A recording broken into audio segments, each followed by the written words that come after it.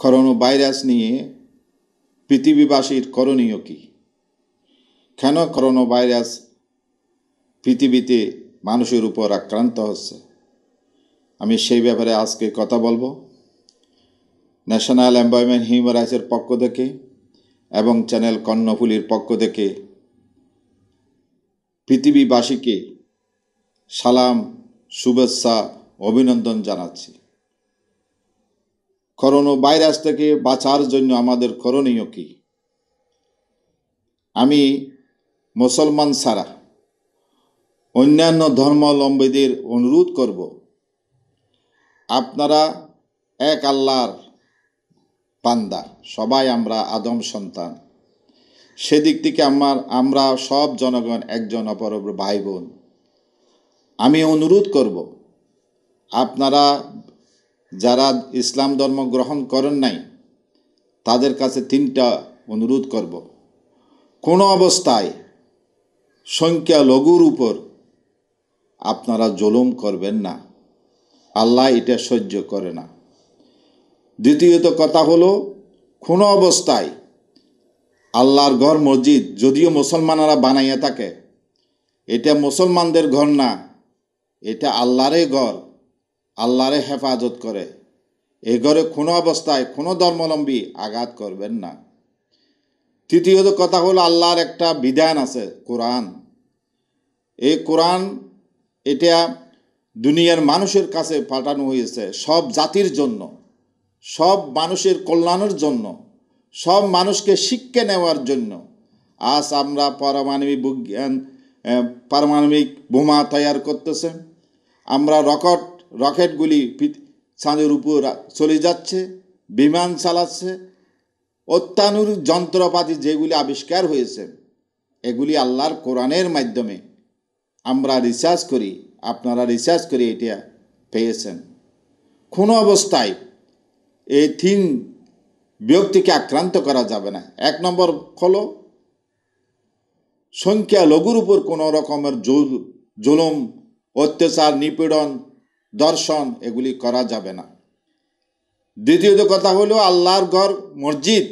এই মসজিদ মুসলমানরা যদি বানাইও থাকে, এটা মসজিদ হলো আল্লাহর ঘর। এটা কোনো রকমের ফোড়ানো, কোনো রকমের ক্ষতিগ্রস্ত করা যাবে না। তৃতীয়ত কথা হলো, আল্লাহর একটা বিধান আছে, সেটা হলো কোরআন। এটা যুগ যুগ নবীদের মাধ্যমে আমরা পেয়েছি।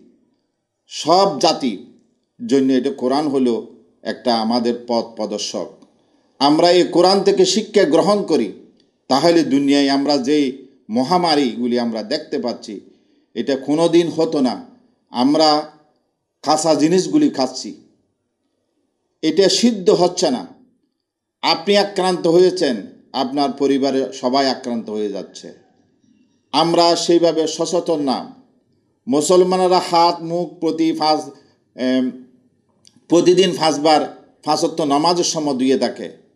অন্যান্য ধর্মাবলম্বীরা এটা হাত, মুখ খুবই কম দই, কাঁচা জিনিসগুলি খায়। এর জন্যও এই মহামারীগুলি হয়ে থাকে। আর যেটা হয়, আল্লাহ রব্বুল আলমীর পক্ষ থেকে যেটা মহামারী হয়, সেটা বেশিরভাগ আল্লাহ রব্বুল আলমীর পক্ষ থেকেও হয়ে থাকে। যেমন, আমরা অন্যায়, অবিচার, জুলুম, নির্যাতন দেশের মানুষের উপর যদি করি, আল্লাহ রব্বুল আলমিন আমাদেরকে এই যে মহামারী দিয়ে আমাদেরকে বোঝানোর চেষ্টা করে যে তোমরা এটা ভুল করতেছ, তোমরা অন্যায় করতেছ, এটা যেন আমরা বুঝি। আর দ্বিতীয়ত কথা হলো, যারা ইসলাম ধর্ম গ্রহণ করেন নাই, কোন অবস্থাতে আপনি অন্যান্য ধর্মগুলি আপনারা নিজেরাই তৈয়ারি। কিন্তু আল্লাহ রব্বুল আলমিন যিনি মালিক, যিনি খাওয়াচ্ছেন যিনি আসমান জবিন নক্ষত্র, সবগুলি আল্লাহ রব্বুল আলমিনের দেওয়া।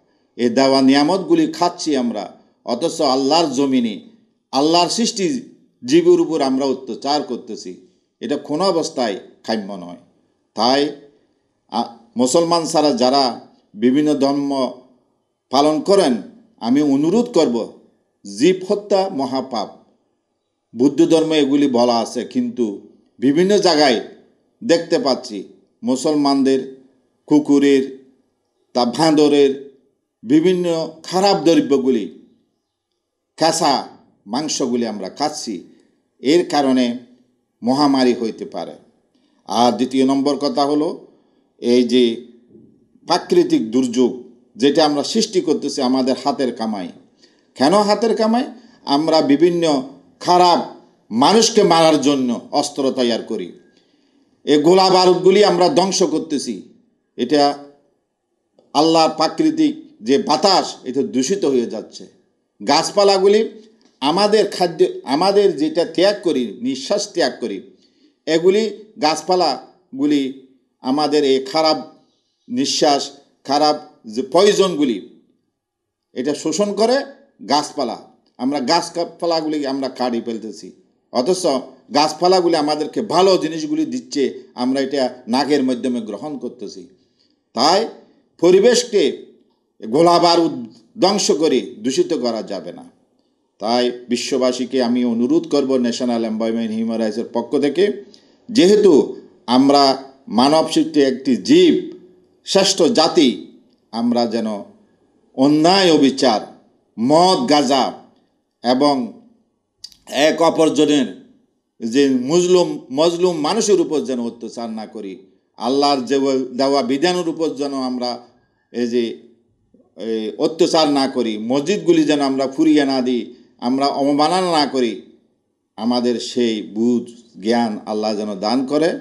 আর বিশ্ববাসী যারা যারা ইসলাম ধর্ম, সারা অন্যান্য ধর্মাবলম্বী আছে, আপনি একটু চিন্তা করুন না। আপনি একটু চিন্তা করলে তো সব হয়ে যায়। আমি এই বাতাস খেয়ে পাঠাইলো? এই সূর্য খেয়ে দিল? এই আকাশ খেয়ে বানাইলো? এই পানি খেয়ে দিচ্ছে? আমরা সেটা যদি একটু চিন্তা করি, তাহলে আমরা কোনো দিন ইনসান হিসাবে কার উপর জুলুম করতে পারি না। আমার হাতের দ্বারায়, আমার মুখের দ্বারায়, আমার অন্তরের দ্বারায় আমি কারও কষ্ট দিতে পারি না। আল্লাহ যেন সবাইকে বুঝ দেয়া, বুঝ জ্ঞান দান করো আল্লাহ যেন সবাইকে নিরাপদে রাখে। সেই দোয়াই কামনা করি। আমি আর বক্তব্য এখানে শেষ করছি। খুদা হাফেজ।